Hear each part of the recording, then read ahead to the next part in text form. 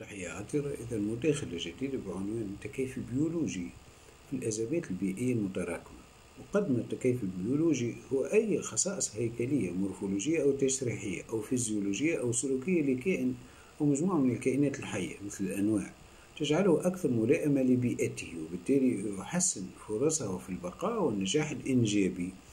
بسبب اللدونة المظهرية الفردية التباين سيكون الأفراد أكثر أو أقل نجاحا. قد تؤدي بعض التكيفات إلى تحسين النجاح الإنجابي للسكان ولكن ليس فردا معين كما يظهر في السلوك الإيثاري في الحشرات الاجتماعية الكائنات الحية التي تتكيف مع بيئتها قادرة على تأمين الغذاء والماء والمغذيات الحصول على الهواء والدفء والمسافات التعامل مع الظروف الفيزيائية مثل درجة الحرارة والضوء والحرارة. يدافعون عن أنفسهم من آه، هذه الكائنات الحية تدافع عن نفسها من أعدائها الطبيعيين. تكاثر والنسل الخلفي آه، الاستجابة للتغيرات من حولها. آه، يحدث التكيف استجابة للتغيرات في البيئة أو أسلوب الحياة أو العلاقة مع الكائنات الحية الأخرى. قد تضع الديناميكية البيئية والتغيير التوعي أو الإجباري مو والأنشطة البشرية الكائنات الحية في مكان جديد أو في ضغوط آه، ضغوط بيئية في مثل هذه الظروف تتطلب الكائنات الحية خصائص مناسبة للوضع الجديد.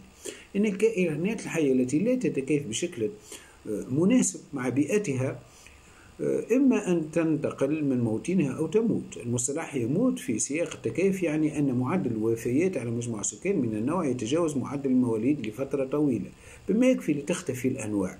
في حين توفر التكيفات للغرض الفردي للكائن الحي البقاء والتكاثر التطوير الصيانة هذه الخصائص نفسها توفر التنوع وتضيف إلى افتتان الإنسان بالطبيعة والتمتع به. علاوة على ذلك بينما ينظر إلى عملية التكيف غالبا على أنها مجموعة ثابتة من الخصائص المناسبة.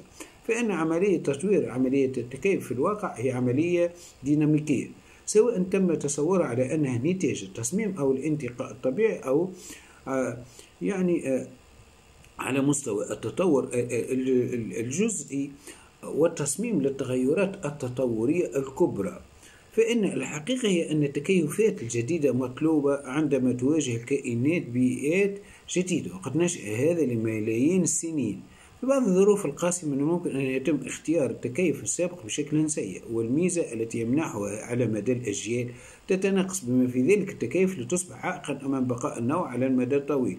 يعرف هذا باسم سوء التكيف. هناك فرق كبير بين التكيف والتأقلم.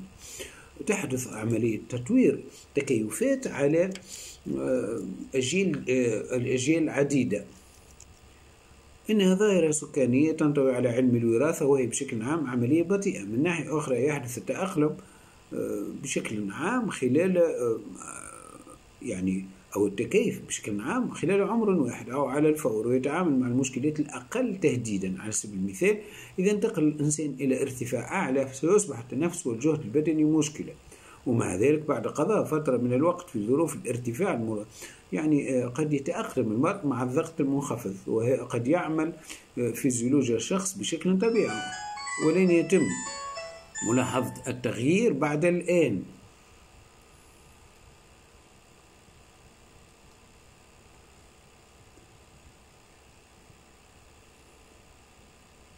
أنواع التكيف يمكن أن تكون آه، آه، التكيفات هيكلية أو فيزيولوجية أو سلوكية. التكيفات الهيكلية أجزاء خاصة من جسم الكائن الحي تساعده على البقاء في بيئته الطبيعية.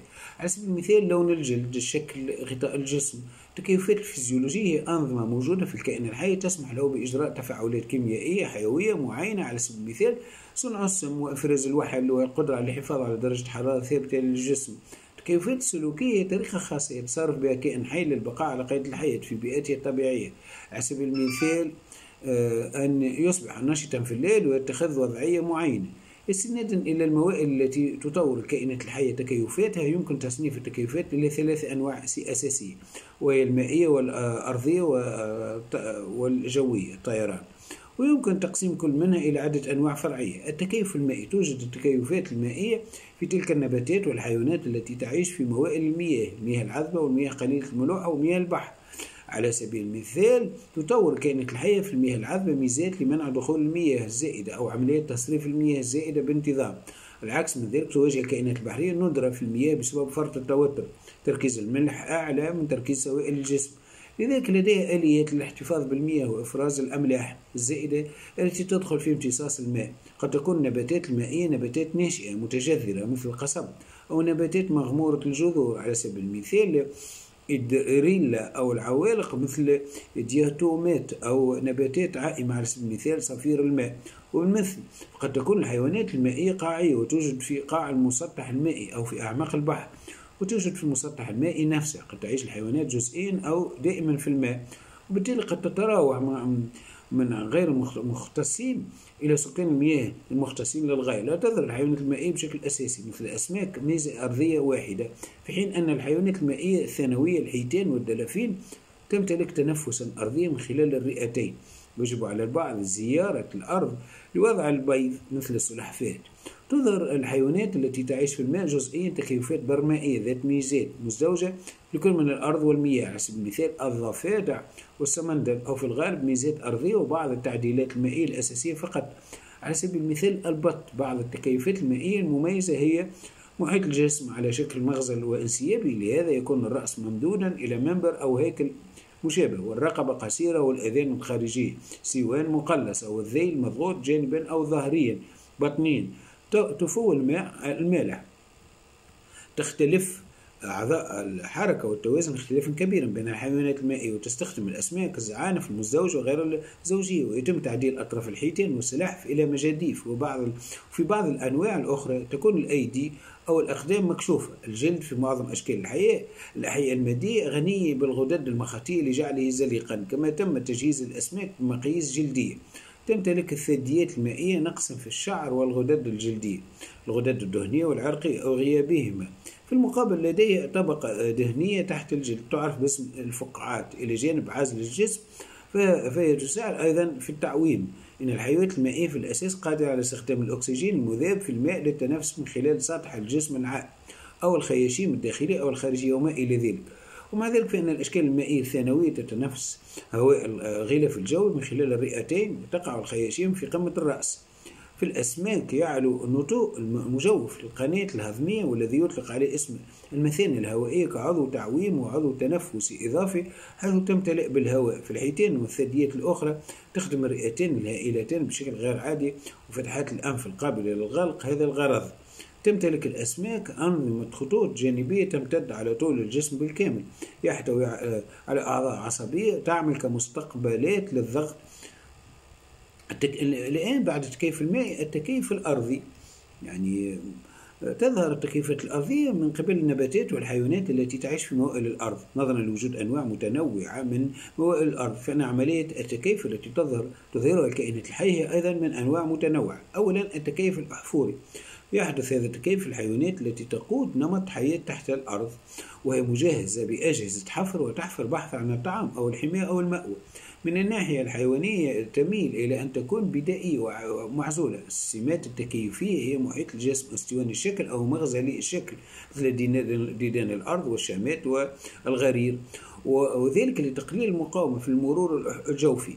رأس صغيرة ومستدق من الأمام ليشكل أنفا مختبئا. يتم تقليل الرقبة والسيوان لتفادي الانسداد في الحركة السريعة من خلال الثقوب. في بعض الحالات يتم تقصير الذيل أيضا. تظل العيون صغيرة وغير وظيفية. الأطراف قصيرة وقوية. الكفوف عريضة وقوية ولها مخالب طويلة. بعض الهياكل الإضافية للحفر. آه، خاصة يتم تعديل الأرجل الأمامية إلى أعضاء حفر.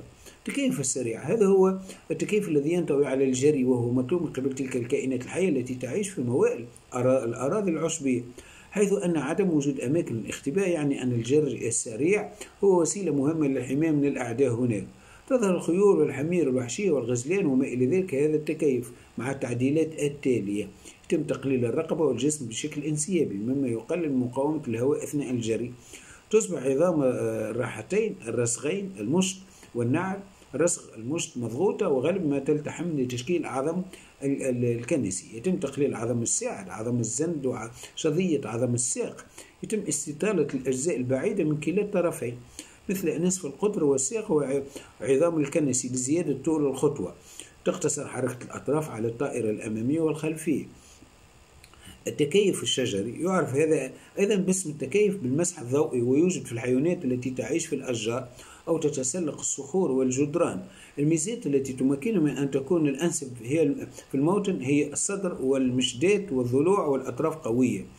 آه، الأطراف القوية. آه، يعني تصبح الأقدام واليدين قابلين للإمساك بشيء استياد بأرقام معاكسة. على سبيل المثال الرئيسيات والجرابيات. في بعض الأحيان يتم تجميع الأرقام على شكل ثلاثة أرقام ورقمين في متلازمة الأصابع على سبيل المثال الحربة لتسهيل التشبث يمتلك البعض مخالب مستطيلة مثل السناجب بينما يحمل البعض الآخر هو سدات لاصقة مستديرة عند طرف الأصابع. على سبيل المثال ضفدع الشجر في سحلية الجدار توجد مصفوفة مزدوجة من الصفائح في الجانب البطني من الأرقام لخلق فراغ للتشبث. يتيح ذلك للحيوانات التحرك حتى على الأسطح الرأسية الملساء. غير ما يصبح الذيل قابلا للإمساك أيضا. على سبيل المثال الحرباء والقرود. الآن نأتي إلى التكيف الصحراوي. التكيف مع الصحراء. التكيفات الصحراوية لأسلوب الحياة في الموائل الأرضية المتطرفة قصووية تظهر النباتات الصحراوية والحيوانات تكيفات لثلاث تحديات الحصول على الرطوبة والحفاظ على الرطوبة والدفاع عن الناس من العوامل الحيوية وغير الحيوية. العديد من هذه التكيفات هي فقط فيزيولوجية وسلوكية. تتبنى النباتات والحيوانات المختلفة آليات مختلفة للحصول على كميات كافية من الماء سحلية الرمل والضفدع المقرن. لهما جلد رطب لامتصاص الرطوبة. مثل الورق النشاف حتى من الهواء غير المشبع يفي جرذ الكنغر باحتياجاتها المائية من التوليف الأيضي يلبي الآخرون احتياجاتهم من المياه من خلال الطعام الذي يستهلكونه. تمنع الحيوانات الصحراوية فقدان الماء من أجسامها عن طريق تقليل مساحة السطح مما يجعل الجلد غير نافذ من خلال سمكته وتصلبه وكذلك من خلال وجود قشور وأشواك.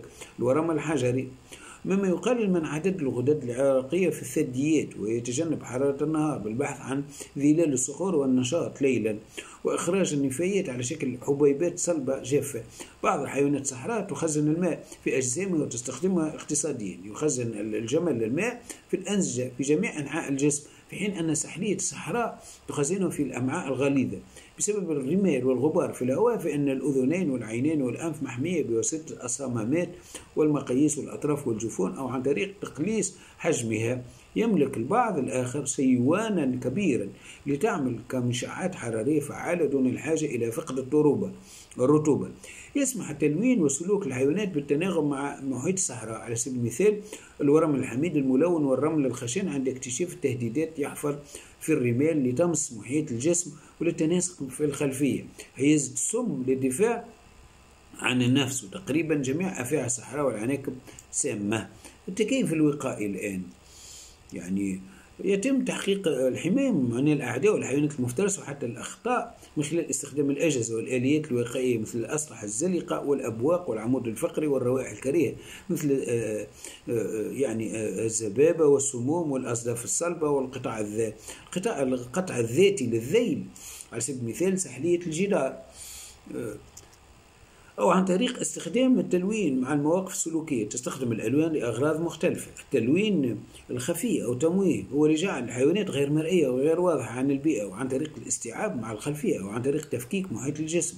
قد تكون الحيوانات التي تعيش في ظروف ثلجية بيضاء قد تكون حيوانات الغابات مخططة أو مرقطة قد تكون الحيوانات الصحراوية ذات لون رملي تحتوي الحرباء على عدة طبقات وأنواع من الكروماتوفورات. التي تمكنها من تغيير ألوانها وفقا للون المحيط.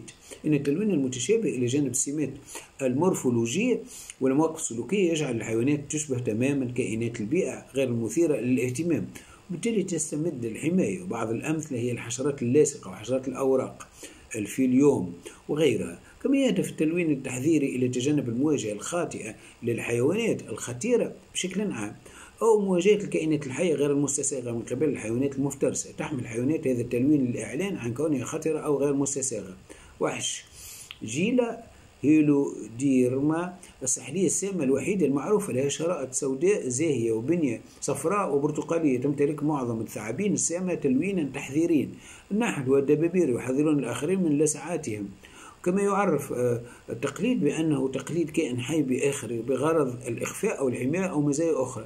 يطلق على الأنواع التي تقلد اسم التقليد والنوع الذي يتم نسخه نموذجا. اعتماد على أغراض التقليد يمكن أن تكون وقائية أو عدوانية. التقليد الوقائي هو محاكاة وقائية بواسطة أنواع غير ظاهرة من حيث الشكل والمظهر واللون وسلوك أنواع أخرى غير مستساغة أو خطيرة. على سبيل المثال بعض الذباب غير المؤذي بزوج من الأجنحة آه، قد يحاكي أربع نحل مجنح أو دبابير معروفة جيدا بأنها حشرات خطيرة وبالتالي تستمد الحماية. هذا هو التقليد الباتيسي. إذا كان هناك نوعان لهما نفس لون التحذير وأعلن بشكل متبادل عن خطورتهما أو عدم استساغتهما لجعل الحيوانات المفترسة تتعلم تجنب كلاهما فإن هذا يسمى تقليد الموليران. تستخدم الحيوانات المفترسة لمحاكاة العدوانية. هنا يحاكي مفترس الكائن الحي الذي تفضله فريسته ليصطاد الأخير على سبيل المثال تشبه السحلية الأفريقية زهرة أو قد يشبه العنكبوت زهرة السحلية وهكذا دواليك. نأتي إلى التكيف الهائل. يشير اسم التكيف المتضخم إلى التكيفات في أولئك الذين لديهم نمط حياة. تم تضمين التعديلات التي تساعد الكائنات الحية على الحفاظ على أجسامهم ودفعها في الهواء. قد يكون من أجل الطيران الشراعي السلبي أو الطيران الحقيقي النشط. الانزلاق السلبي لا تتضمن هذه الأنواع من الحركات أي دفع بخلاف القوة الأولية للقفز وقوة الجاذبية. يتميز بالقفز أو القفز من نقطة عالية أو الضغط من قبل بعض الأعضاء الحامل للانزلاق إلى مستويات سفلية ويتسع الجلد على جانبي الجسم ويمتد بين الأطراف الأمامية والخلفية لتشكيل ما يسمى patagium تحافظ patagia على أعضاء العديد من الحيوانات. بما في ذلك السنجب سنجاب الطائر والليمور الطائر في السحلية الطائرة دراكو. يتم دعم ال patagia بواسطة خمسة ستة ضلوع ممدودة. كما يمتد الضفدع الطائر أقدام مكشوفة كبيرة جدا لأغراض الاستدامة تنتهي أرقامها في وسادة لاصقة لضمان التشبث ببسط الهبوط بسطح الهبوط. في الأسماك الطائرة يتم تكبير الزعانف الصدرية لتشكيل أسح مزلقة ويتم تمديد الفصل البطني للزعنفة الذيلية لعمل شرطات على سطح الماء لدفع الحيوانات إلى رحلة التيوان الشراعي تقوم الأسماك بهذه الرحلة لمسافة بين 200 من 200 إلى 300 متر للهروب من الأسماك الكبيرة. الأجناس الأخرى الأسماك الطائرة هي بيغازيوس وبونتودون بونتودون رحلة حقيقية نشطة. الرحلة الحقيقية النشطة هي رحلة جوية مع كل من الاستدامة والدفع. يوجد هنا نتحدث عن التكيف الجوي. يوجد بين أشكال الحية في الحشرات والطيور والخفافيش. نظرا لكونها مجموعة مختلفة عن التخويص فمن المعروف أن رحلاتها تطورت بشكل مستقل ومع ذلك فإنها تظهر العديد من السمات المشتركة. على الرغم من أن أعضاء الطيران في جميع المجموعات عبارة عن أجنحة لأن هيكلها يختلف اختلافا كثير. لذلك تكون أجنحة الحشرات مباشرة معززة بسماكة تسمى الأوردة. عادة هناك زوجين من الأجنحة تم تطويرهم على الجوانب الظهرية والجانبية للجزء الأوسط والجزء الصدري الفوقي. ويتم تطوير الأجنحة المتوسطة والصدرية فقط. يتم تعديل أجنحة الخفافيش آه، على الأطراف الأمامية. تم تطوير عضد عظم العضد بشكل جيد ونصف القطر طويل ومنحني بينما عظم الزند أثري. آه، الإبهام مجاني ومخالب للزحف والتسارق. يتم دعمها بأرقام مطولة آه، الثاني والثالث والرابع والخامس. أجنحة الطيور أيضا تعديل الأطراف الأمامية ولكن بأرقام منخفضة. إنها تمثل الأجنحة الأكثر تخصصا بين الأجنحة الحديثة. يحمل ريش الطيران على الذراع واليد مكون من أجنحة ممتدة جيدا. تم تطوير عظم القص عظم الصدر جيدا لربط عضلات الطيران في الطيور. ولكي تحدث منعرجات توجد عضلات طيران قوية بشكل خاص. يصبح الجسم خفيفا خاصة عند الطيور بسبب وجود عظام هوائية تصغير الأعضاء الداخلية مثل المبيض وقناة البيض في الجانب الأيمن والمثاني البولي. وجود أكياس هوائية في الجسم وجود ريش خفيف يغطي الجسم. خاصة في الطيور يتم تطوير الفص البصري للدماغ بشكل كبير ويرتبط مع العين الكبيرة أيضا لضمان إحساس جيد بالرؤية لتغلب على التغير المفاجئ في ضغط الهواء تحمل العين صفائح صلبة مميزة وأيضا هياكل تشبه المشط والأوعية الدموية والمصطبغة تسمى ال pecten إنها تنظم تنظم ضغط السائل داخل العين كما يتم تعويض تحويل الأطراف الأمامية إلى أجنحة في الطيور من خلال وجود مناقير قرنية بلا أسنان وأعناق طويلة مرنة. نأتي في النهاية في الخاتمة نظرية التكيف كان جان باتيست لامارك من بين أول من طرح نظرية التكيف وقدم عملية يمكن من خلالها أن تنشأ مثل هذه التكيفات. تمت الإشارة إلى النظريات على أنها وراثة شخصيات المكتسبة لكنها فشلت في تفسير أصل وراثة الشخصيات كظاهرة سكانية. تقدم تقدم علم التخلق عن طريق براي في 2004 وتطور البلدويني نورتمان في 2003 عمليات مماثلة في نظرية التطور الحديث.